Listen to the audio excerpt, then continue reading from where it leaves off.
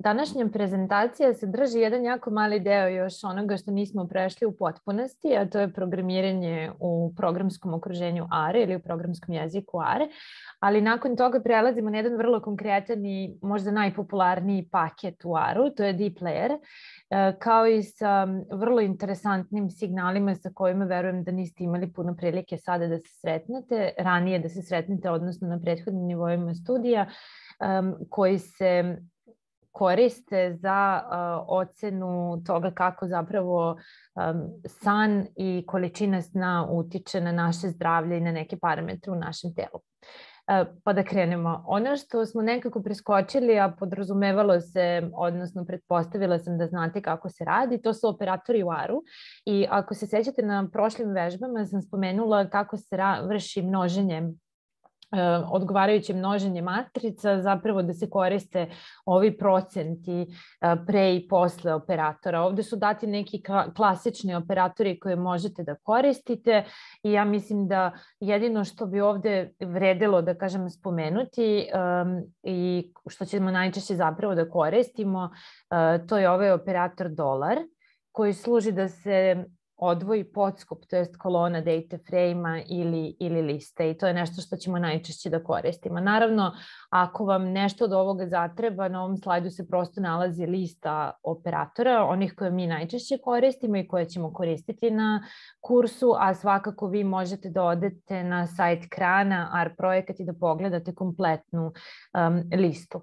Ono što ovde imate priliku da vidite, to je zapravo ovaj jedan um, um, and kao jedan znak i and kao, kao dva znaka gde bukvalno um, bi trebalo da zapravo poredite um, element po element i cele, cele nizove da li su, da li su jednaki. Uh, ono što će nama najčešće trebati je zapravo ova prva realizacija um, um, vektorske operacije i, i ili e, kao što vidite ovih logičkih operacija ima raznih, mislim na to ste već navikli. Što se tiče samih operacija sa nizovima, um, mi smo neke već radili i ono što do sad nisam spomenula, nisam zapravo pokazala konkretan kod kako da to realizujete, ali sam rekla da možete da koristite sequence ili sequence along ili repeat funkcije, re, odnosno rep funkciju kada želite da napravite um, nekakav niz sa korakom koji nije jedan. Setite se, radili smo do sada pravljanje nizova sa dvotačkom, 1 dvotačka 4, 1 dvotačka 10 ili 1 dvotačka do dužine nekog signala, a ovde vam je na primjeru koji ste već imali priliku da vidite sa onim EMG signalom um, koji zapravo ima 16 kolona u samom fajlu, odnosno u datoteci, a gde su samo prve dve kolone popunjene odgovarajućim vrednostima, gde su zapravo snimljeni signali na levom mišiću pectoralis major i na desnom mišiću pectoralis major. Ono što ste vi već radili i što mi pretpostavljam vrlo jednostavno, to je kako da kreirate vremensku osu.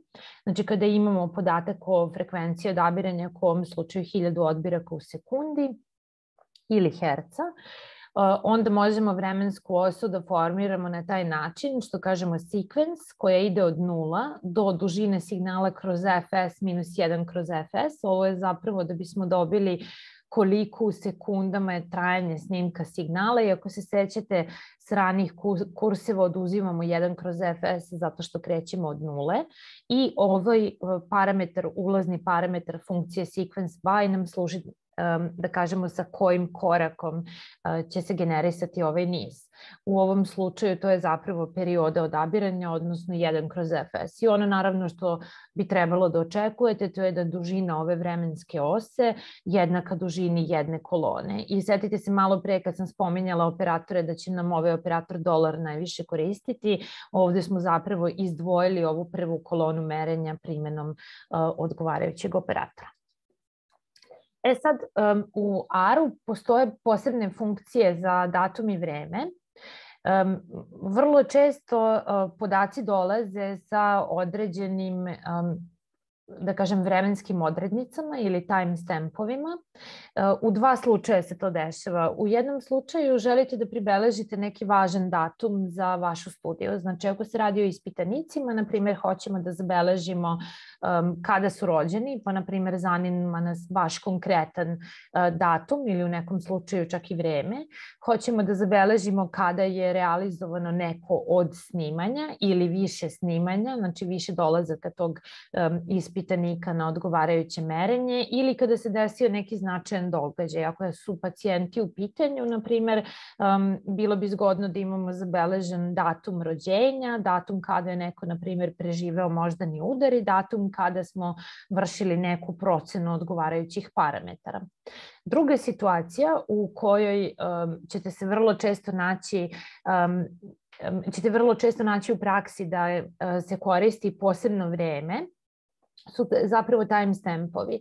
E, vidjet ćete kada snimamo biosignale, e, vrlo često imamo problem sa sinhronizacijom.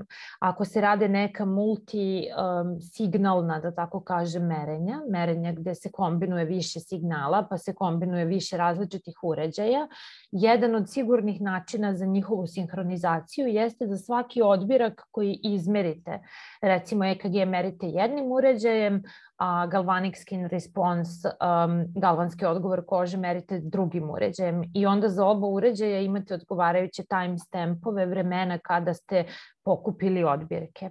Osim toga što vam to omogućava da sinhronizujete dva uređaja, postoji još jedna stvar zbog koje su timestampovi korisni, a to je što postoje uređaji, pogotovo koji su zasnovani, na primjer, na Android aplikacijama ili mobilnim telefonima, jer to je tamo uobičajeno da se tako radi, sa promenljivom frekvencijom odabiranja.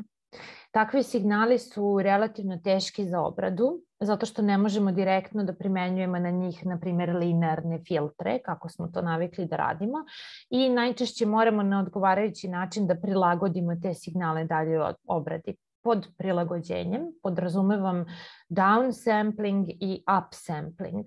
Znači, i dodavanje i izbacivanje pojedinih odbiraka da bismo zapravo dobili na kraju sekvencu signala koja ima konstantnu frekvenciju odabiranja.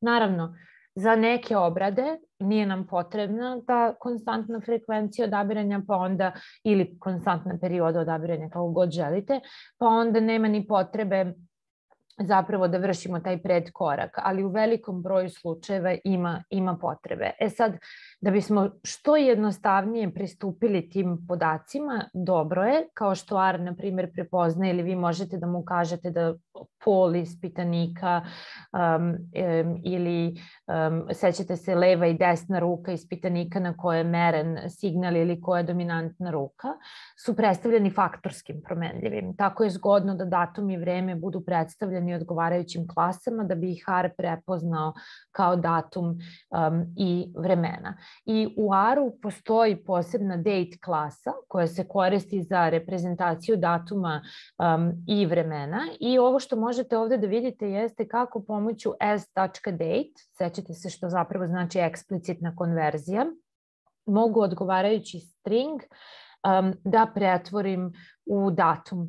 Um, u, u zapravo um, nije datu, tačno je da je datum, ali hoću da kažem u klasu datum. E sad, ono kada uredite unclass x, trebalo bi da dobijete jednu brojnu vrednost. U ARU je to, to merenje vremena resetovano na 1. januar 1970. godine, pa ćete onda u tom slučaju dobiti nulu. Međutim, ono što, na što bih vam skrenula pažnju i što će vrlo često da vas sačeka u praksi, um, najčešće onaj koji popunjava podatke nema ideju o tome kako taj vaš string treba da izgleda i um, srećete se recimo sa situacijom gde imate datum, mesec pa godinu sa ovim tačkama između i ako pokušate direktno da um, ovakav zapis pretvorite u klasu datum, on će vam javiti grešku. Znači da biste mogli da pretvorite nešto u klasu datum mora da bude zapisana u odgovarajućem formatu. Šta onda radimo?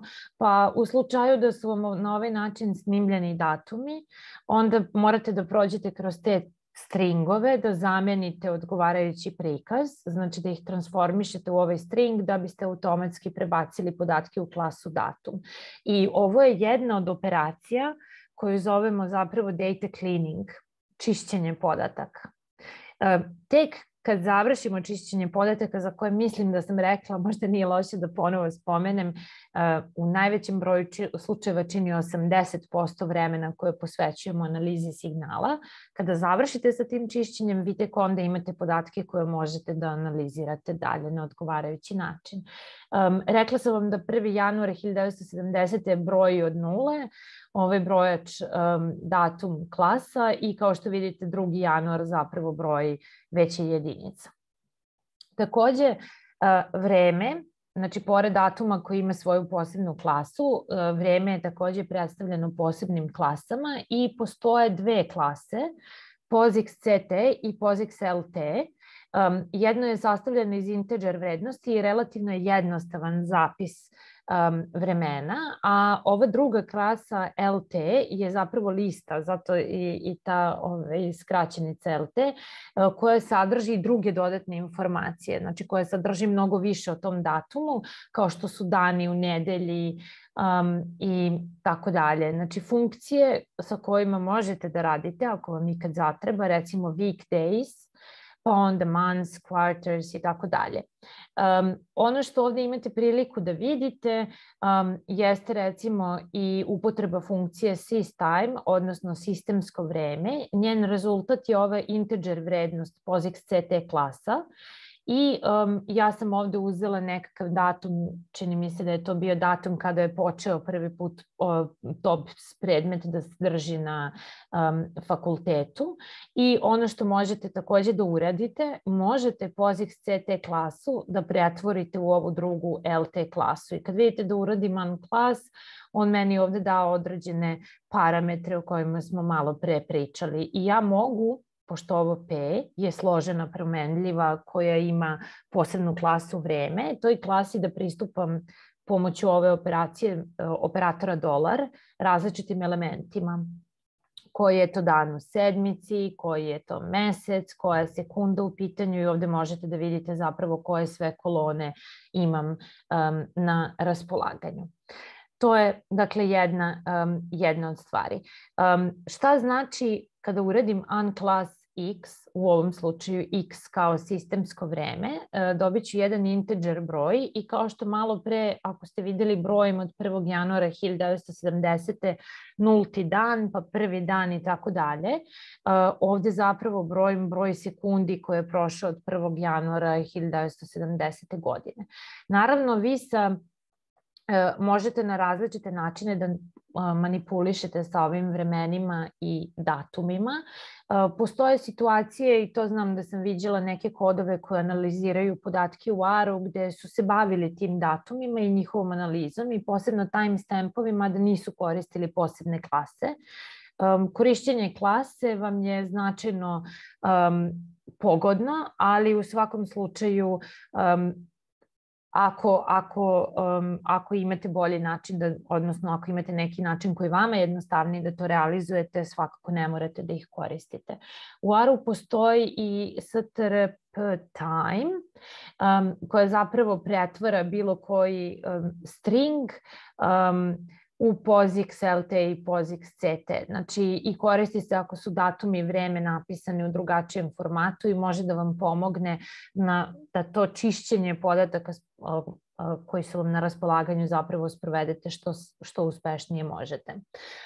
Ono što možete, na primjer, da uradite kada pretvorite nekakav datum u odgovarajuću klasu ili vreme, možete da vršite različite operacije. Pa recimo možete između dva datuma kao što je ovde um, da vidite koliko je dana um, prošlo i ono o čemu treba da vodite računa, um, ovakve operacije možete da sprovedete samo ako datum 2 i datum 1 pripadaju istoj klasi.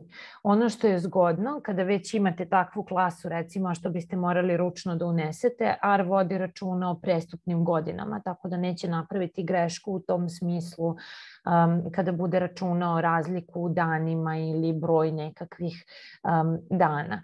Takođe, um, obično sam gledala da biram neke karakteristične datume, pa je ovaj datum iz 97. datum kada je AR postao e, deo GNU projekta, a ovaj drugi datum je datum kada je uveden TOPS predmet. Pa eto vidite, 7200 dana otprilike je prošlo umeđu vremenu. Kada već pričamo um, o vremenu uopšte, um, postoje neka značajna i kada smo tu već kod biosignala, iako ovo nije ni nekoj način vezano za AR ili za odgovarajuće klase datuma i vremena, nego prosto kada spominjemo te neke elemente, um, postoje različite studije na EG signalima. Ja sam uh, pokušavala ranije da nađem um, neke dostupne podatke koje bismo potencijalno mogli da koristimo za projekte. Nisam uspela, ali probaću i ove godine, pošto mislim da su vrlo interesantna um, istraživanja. Rađena su merenjem EG elektroencefalograma i fMRI, odnosno funkcionalne magnetske rezonance. Ideja je bila da se provere regije koje su aktivne tokom različitih zadataka, od kojih um, su neki od um, zadataka um, bili, kao što ovde možete da vidite, spelovanje brojeva, uh, pardon, da, spe, spel, spelovanje brojeva ili zamišljanje um, arapskih cifara, onda odgovarajuća poređenja, um, recimo nekakvih brojeva, pokreti i korekcija greške. To je recimo vrlo interesantno kako naš um, mozak zapravo um, funkcioniše dok mi sami ispravljamo neke greške, na primjer u kodu ili u nekom zadatku. I ono što se tu, na primjer, posebno posmatra, zove se mentalna hronometrija, znači nije samo koje su regije od, um, aktivne, nego koje su regije u pojedinim trenucima aktivne i kako se raspoređuju um, te aktivnosti u vremenu. To su recimo neke od zanimljivih um, i interesantnih istraživanja koje mogu da uključe, da kažem, način na koji mi kao ljudi zapravo tretiramo um, um, različite zadatke i kako, kako se vreme odvija u našem organizmu, odnosno na koji način je um, ta kontrola u mozgu uspostavljena. To je jedna od zanimljivih studija, kažem vam opet vidjet ćemo da li će biti ove godine u opticaju za projekat. Um, obećala sam da će prvi deo prezentacije u kome se još uvek nalazimo da, na današnjem predavanju, da se sastoji iz toga da mahom završimo sve što smo imali da kažemo oko ARA i da, gde vi možete da se snalazite već sasvim dovoljno u programskom jeziku, a da od drugog dela lekcije i naravno od narednih lekcija nastavljamo sa vrlo specifičnim paketima koji se odnose na analizu podataka. Jedan deo koji nam je ostao, koji sam sigurna da vi već znate iz velikog broja drugih predmeta i, i drugih programskih jezika u kojima ste radili, to su kontrolne strukture. Pod tim mislim na if-else strukturu, for petlju, uh, while petlju i neke klasične komande na koje ste verovatno već navikli kao što je repeat, break, next i um, return. Ne znam da li ste znali, ali postoji određen statistički podatak da je if-else struktura naj, najčešće korišćena struktura u svim programskim jezicima. Mi ćemo se inače baviti različitom, različitim elementima statistike i kako na odgovarajući način da predstavite podatke koje analizirate, ali e, po, pored ovog zna, zna, zanimljivog statističkog parametra ima još jedan koji sam nedavno čula, a to je koja je najčešća reč na engleskom jeziku koju izgovaraju profesori dok predaju. To je thing ili stvar na srpskom. Um, ja nisam nešto, nikad držim ovaj, bilo kakva predavanja na engleskom, primetila da često govorim think, ali istraživanja su pokazala da je tako. Isto kao što su istraživanja pokazala da su IFL strukture zapravo najčešće korišćene. Uh, ono što R posebno, um, da kažem, izdvaja možda od nekih drugih programskih jezika jeste što ima skraćeni zapis. Setite se one filozofije ARA, da što brže napišemo neki kod i da sve što može da prođe i da fun funkcioniše i da se izvrši, bi trebalo da se izvrši i um, ono što takođe možete, LSD naravno nije neophodan, uh, prepoznajete begin i end, ali um, jednostavniji zapis koji aru možete da izvedete jeste da y preuzima vrednost i fix veći od 3 i onda ovde, na primjer, upišete samo um, naziv stringa u odnosu na ovaj klasični zapis. Znači, ne samo za kontrolnu strukturu if-else, um, već i za for petlju postoji isto tako skraćeni način uh, predstavljanja. Vi treba da radite onako kako je vama zgodnije i onako kako se vi osjećate komotno. Uh, važno je da znate da postoje ovi skraćeni, da kažem, zapisi da biste jednostavno mogli uh, samostalno da, da da procenjujete tuđi kod, zapravo da ocenite šta tuđi kod radi i da se snađete u tuđem kodu. Ok, znači ovo je vrlo jednostavno za i od 1 do 10 odštampa i. Ovde imam jednu uh, veliku napomenu, mislim da se to nalazi um, i u pitanju ovde na slajdu, da li i sme da bude iterator. R programski jezik su napisali uh, matematičari i matematičari koriste samo konjugovano kompleksno i nikad konjugovano kompleksno jot. Vidjet ćete da jezici programski koje su pisali inženjeri, kao što je MATLAB, sadrže i konjugovano kompleksno i i konjugovano kompleksno jot. Dobra praksa u svim programskim jezicima je da za indekse apsolutno nikad ali nikad ne koristimo ni i ni ot, zato što to potencijalno može da nas vodi ka nekim daljim problemima. Um, ja moguće da sam ovo rekla već na nekom ranijem predmetu, stalno to pričam, zato što uh, sam ja imala naviku da koristim i i ot, jer prva petlja koju napišete u životu kad vas uče i ono kako da crtate algoritam i kako da pišete kod zapravo je sa iteratorom i, a to smatram vrlo pogrešnim. Tako da ovo pitanje stoji na pravo mesto, znači šta da koristite i x ili int da bi bilo jasno da se radi o indeksu. Osim ovog zapisa koji vidite ovde, prvi zapis, drugi zapis može da bude i in sequence along, znači ne mora da bude od 1 do 10, nego do neke sekvence dužine x-a, na primer. Treći način je letter in x, pa print letter, znači ako je ovo spisak x zapravo predstavlja niz karaktera i na kraju bez ovih begin i end može ako pišete u istom redu. Znači u nastavku ako je vrlo kratka for petlja možete da imate ovaj skraćeni zapis.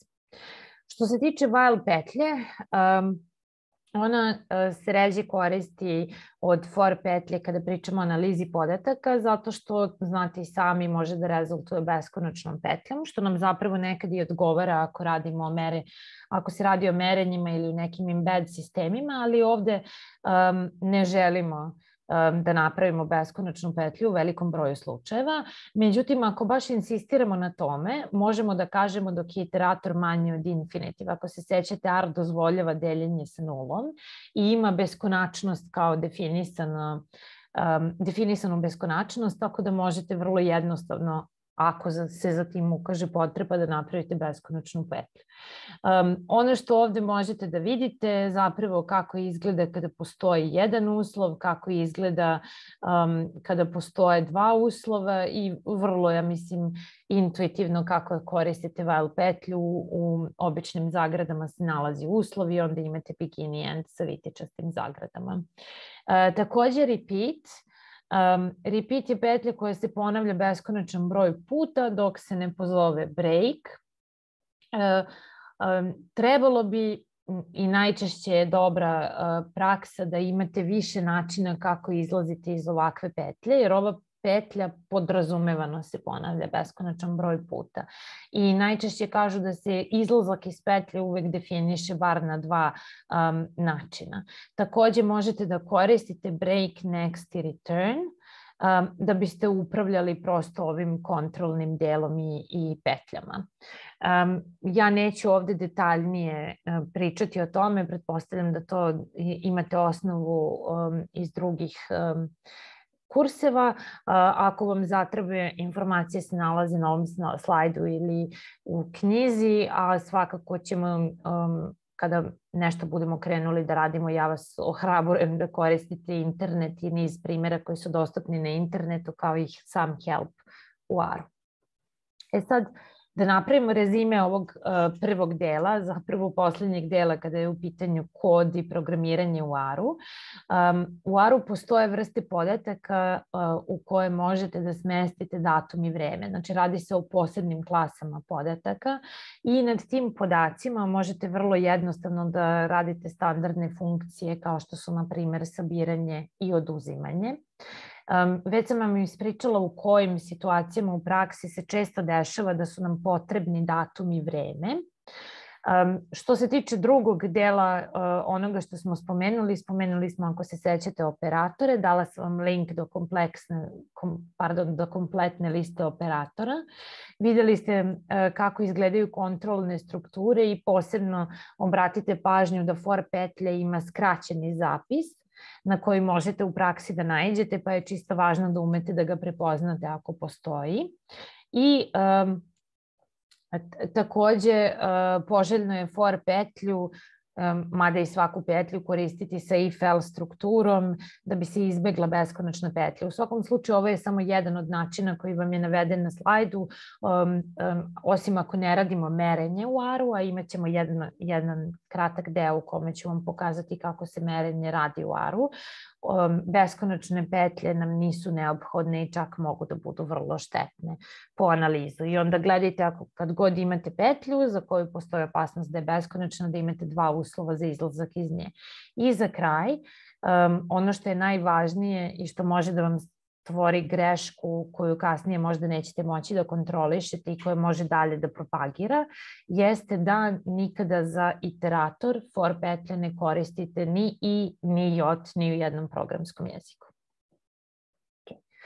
Um, onaj konkretni deo koji nas čeka sad je jedna vrlo interesantna studija, studija spavanja i uh, Deep Layer paket. E sad, Deep Layer paket je nastao posebno za rad sa data frame podacima i pošto je nastao imajući u vidu analizu podataka i imajući u vidu ovu, ovu strukturu koja je nama negde najvažnija za analizu u ARU, on sadrži neke dobre prakse u sebi. Tako da ako budete nailazili ili tražili ili koristili neke materijale sa interneta kao što su kursevi koji su nastali oko Deep Layer pakete ili koje um, knjige ili kursevi koje je razvijao profesor Hadley Wickham koji je napravio ovaj paket, vidjet ćete da zapravo korišćenje ovih funkcija prati neke dobre prakse u analizi podataka. Ono što je posebno zgodno u deep layeru um, to je da su većina funkcija realizovana u C++, tako da su značajno brže od klasičnih nekih R funkcija I iako vi većinu funkcija možete i sami da razvijete, da ne koristite ovaj deep layer paket, te koje budete sami razvili neće biti e, brže i efikasnije od onih u ovom paketu, što mislim da je sasvim dovoljno um, da možete da ga koristite. E sad ono o čemu sam vam pričala već na ranijim časovima, ta struktura data frame-a i struktura koju analiziramo i na koju su navikle mnoge druge struke podrazumeva da postoji jedna observacija po vrsti, znači jedan ispitanik po vrsti, a u kolonama su određene um, osobine ili parametri svih ispitanika. E sad, u slučaju biosignala, u jednoj vrsti, ako se sećate po kolonama su nam dati različiti kanali, a u jednoj vrsti se nalaze svi odbirci sa svih kanala u određenom vremenskom trenutku. Takođe, um, svaka kolona bi trebalo da predstavlja neku um, da kažemo, promenljivo. Sad u slučaju ispitanika to bi bilo um, godina rođenja, pol, uh, ruka na koja je snimano, na primjer, srčani ritam ili neki drugi parametri, a u slučaju onog fajla sa datoteke sa EMG signalom, to je merni uh, kanal. Koje su to funkcije koje su važne u deep layer paketu? Select za podskup kolona, što um, će nam vrlo često trebati, najčešće kore, biti potrebna, najčešće korišćena funkcija iz Deep Layer paketa je filter za odabir podskupova. Potom postoji i range, možete i ne morate da, da je koristite, vidite da ovde piše oprezno, rename, Um, ako se sećate, operator koji najčešće koristimo sa data frame-om je dolar. Um, operator dolar nam omogućava da po imenu kolona pristupamo odgovarajućim podacima. Prema tome, imena promenljivih i imena kolona su jako važna i u slučaju da su podaci koje ste očitali ili koje imate na raspolaganju imaju imena koje nisu opisna, nisu dovoljno dobra, rename funkcija može na vrlo jednostavan način da vam pomogne da zamenite, odnosno preimenujete ta imena. Posle ide mutate, ako želite da promenite postojeće ili dodate nove kolone i summarize Summarize je vrlo korisno kada se tek upoznajete sa nekim skupom podataka, zato što može da vam automatski generiše statistiku srednju vrednost, standardnu devijaciju, medijanu, minimalnu, maksimalnu vrednost. I u tom slučaju može da vam bude vrlo korisno. Uh, Deep Layer sadrži još niz drugih funkcija, ja sam ovde nabrojala samo neke. I jedna uh, posebna osobina je što on, ima, na primjer, posebnu print funkciju. Ja je nikad nisam uh, koristila, ali možda ćete vi koristiti pa vam znači um, da čujete da postoji.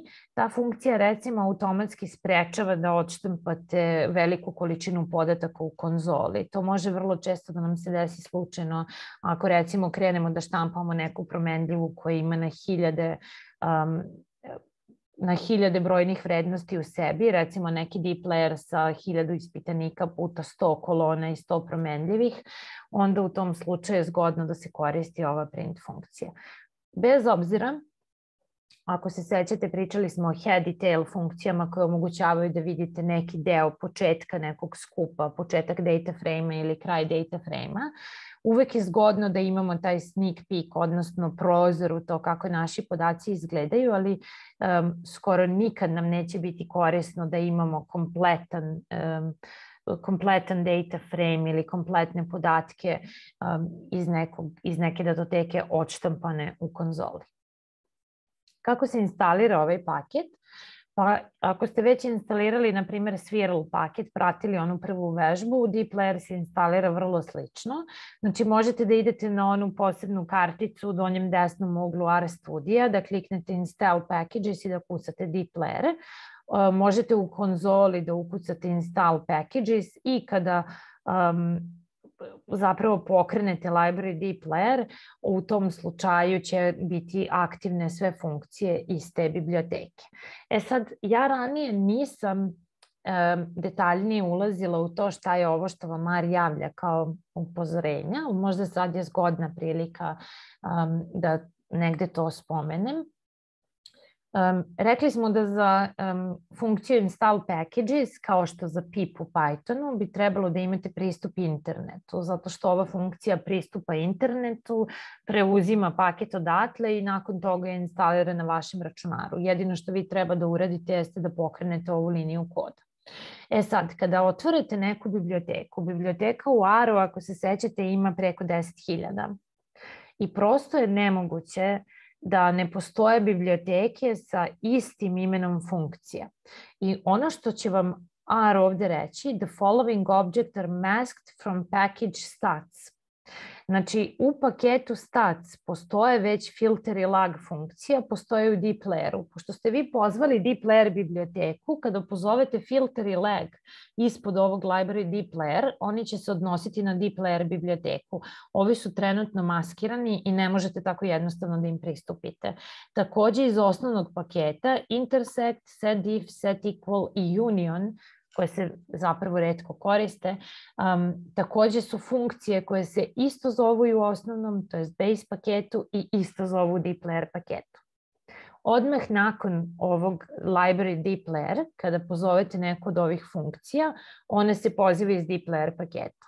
Ako želite um, da naglasite iz kog paketa želite da pozovete funkciju, morate da pristupate toj funkciji sa dvotačkama. Naziv paketa, dvotačke i tek onda ovaj, možete da kucate i koristite odgovarajuću funkciju.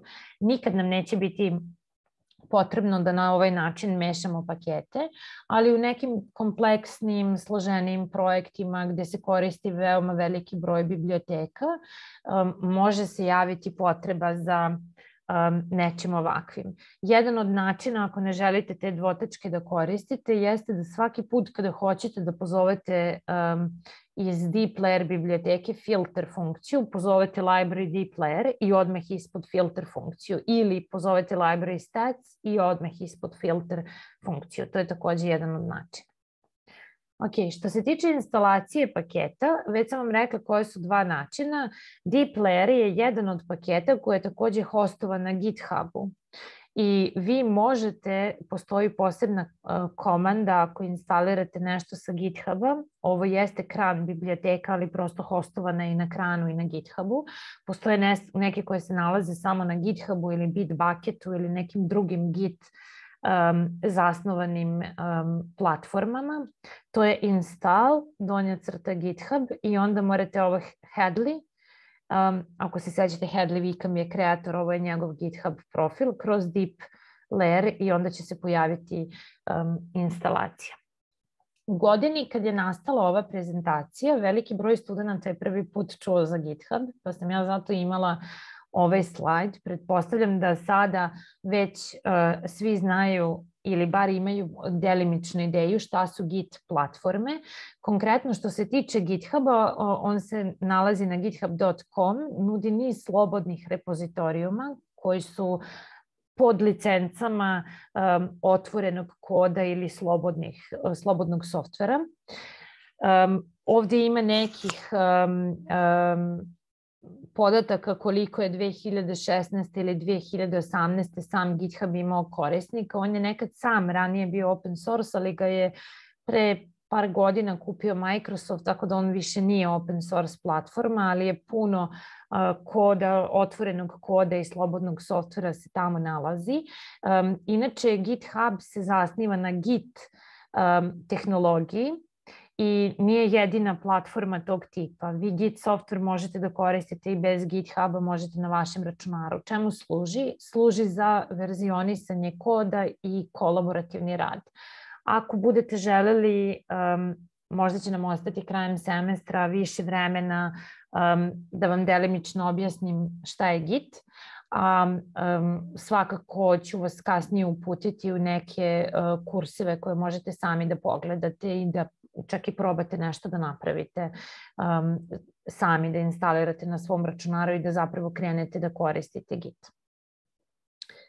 Um, što se tiče podataka na kojima ćemo pokazati upotrebu deep layer paketa, pošto konačno imam podatke koji nisu simulirani ili koji nisu relativno mali odebrani skupovi na kojima možemo da radimo, radi se o studiji spavanja. Studija se zove um, Reaction Times in a Sleep Deprivation Study. Ideja je bila da ispitanici u određenim kontrolisanim uslovima spavaju različit broj sati. Nad studentima je sprovedena ova studija i gde je trebalo da se proveri zapravo kako vreme reakcija, vidjet ćemo nešto kasnije um, na sledećim slajdovima šta znači vreme reakcije i kako se meri i kako se to vreme reakcije menja i da li zapravo utiče na njihovu senzoriku i motoriku, to smanjen broj sati spavanja. Podaci su dostupni na GitHubu, tako da im možete direktno pristupiti preko ove adrese, a um, rad je takođe objavljen u časopisu Journal of Sleep Research 2003. godine, tako da možete da pristupite i samom radu i da pročitate detalje ove vrlo interesantne studije ako vas bude bude zanimalo. Podaci koji postoje su snimljeni u CSV formatu i ja sam ih ovde otvorila u LibreOffice kalku, čisto da vidite kako izgledaju. Znači na početku se nalazi samo redni broj merenja i kao što vidite ovo je prazno polje. Ovde nemamo naziv kolone. Nakon toga imamo reaction koji je zapravo um, parametar vreme reakcije u milisekundama. Potom dani, nulti dan je dan kada je subjekat došao. Um, oni su, ako se ja dobro sećam, u ovoj studiji koristili studentski dom i kada se prvi put subjekat pojavio uh, na mestu gde se sprovodilo merenje, to je bio nulti dan. Prvi, drugi, treći i tako dalje, vidite da se ti dani ponavljaju za različite subjekte. Subjekti imaju svoj ID, identifikacioni broj i ovde vidimo za subjekte 308 da ima za 10 dana različite, um, vre, različite vremena reakcije koje su merene. To isto možemo da vidimo za subjeka 309 i dalje kada scrollujete kroz ovaj dokument vidjet ćete otprilike sve subjekte koje su podelili. E sad, jedna mala napomena sama studija spavanja kojom ćemo se mi baviti e, na današnjem predavanju i vi ćete analizirati podatke na vežbama je sprovedena na ukupno 66 zdravih ispitanika, to je studenta, i oni su bili podeljeni u različite grupe. Podeljeni su bili u četiri grupe. U prvoj grupi sedam dana, svih sedam dana ispitanici su spavali tri sata.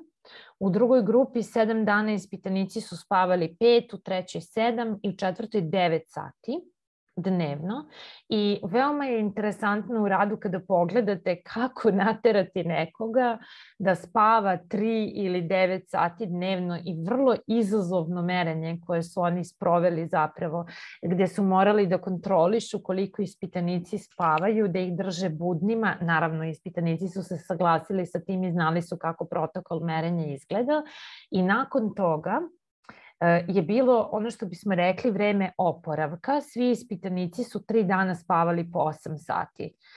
Eh, ne znam da li primećujete, ovde postoje jedna grupa ispitanika koja je spavala duže, smatra se normalnim snom 8 sati dnevno, ova grupa ispitanika je spavala 9 sati.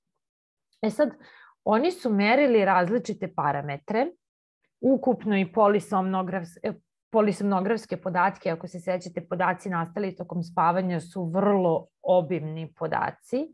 I ako se sećate onaj EDF standard um, koji je uveden um, evropski data format, uh, format podataka, European data format, je zapravo i nastao za polisomnografske uh, podatke koji su um, zapravo čine datoteke velikih, uh, uh, veliku količinu podataka. Merili su EG, EMG, EKG, EOG, znači pokrete oka, srčani rad, električnu aktivnost srca, električnu aktivnost mišića, električnu aktivnost mozga. Međutim, i merili su jedan jako zanimljiv parametar, to je PVT. PVT je skraćenica od Psychomotor Vigilance Task, znači jedan psihomotorni zadatak koji meri vreme reakcije na vizualni stimulus. Test je trajao od otprilike 10 minuta i podaci koje mi imamo predstavljaju usrednjene vrednosti jednog merenja za jednog ispitanika. Inače su se ta merenja ponavljala više puta tokom dana i protokol ne samo da je bio naporan za ispitanike, um, koji su bili kontrolisani, pa evo možete da se berete uh, skoro 10 sati svakog dana, već je bio vrlo naporan i za istraživače, znači broj merenja koji je sproveden, način kontrole ispitanika, jedna vrlo, vrlo opsežna i ozbiljna um, studija. Šta predstavlja ovaj PVT, uh, odnosno PV uh, test? Um, vrlo je jednostavan i čak postoje neke Android aplikacije koje možete na Google Playu sami da preuzmete.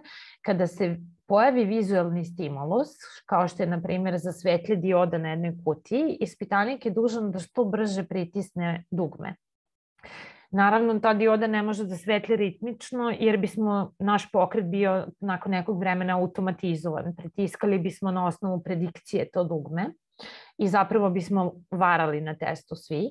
Um, znači ono što se radi, stavlja se neka pseudo slučajna raspodela uključenja tog svetla i onda se meri vreme od pojave svetlosnog stimulusa, vizualnog stimulusa, do pritiska tastera. Naravno, ako je osoba odborna, fokusirana i nije pospana, to vreme je što manje. To vreme se zove vreme reakcije ili reaction time. Sa druge strane, ako je osoba umorna, pospana, to vreme reakcije postaje sve duže i duže. Šta je uključeno u to vreme reakcije? Uključena je senzorika, znači da ja mogu da vidim taj vizualni stimulus, da moj mozak postane svestan da sam ga videla, znači da ode u vizualni korteks, da se tamo analizira i onda da ode u motorni korteks a iz motornog korteksa, znači da, da dođe komanda ka mom prstu da mogu da pritisnem taster. Tako da su i senzorni i motorni elementi uključeni u ovaj reaction time. Pre nego što napravimo pauzu, samo kratko da se vratimo. Nulti dan, subjekti koji su podeljeni, u, pardon, nisu podeljeni svi podaci, podeljeno je 180 merenja na 18 ispitanika, onih koji su spavali 3 sata dnevno. I sad pogledajte, prvog dana oko 250, drugog dana malo više, treći, znači ovo je već drugi dan deprivation, odnosno spavanje 3 sata dnevno. Pogledajte treći, četvrti, peti dan, šesti, um, sedmi, osmi i deveti skoro duplo se promenio reaction time od početka studije i nakon sedam dana uh, sna uh, koji je trajao samo 3 sata dnevno. To je recimo, vrlo vam je jasno šta je uh, cilj naše analize i šta ćemo zapravo da, da pratimo kod ovih um, ispitanika primjenom Deep Layer paketa.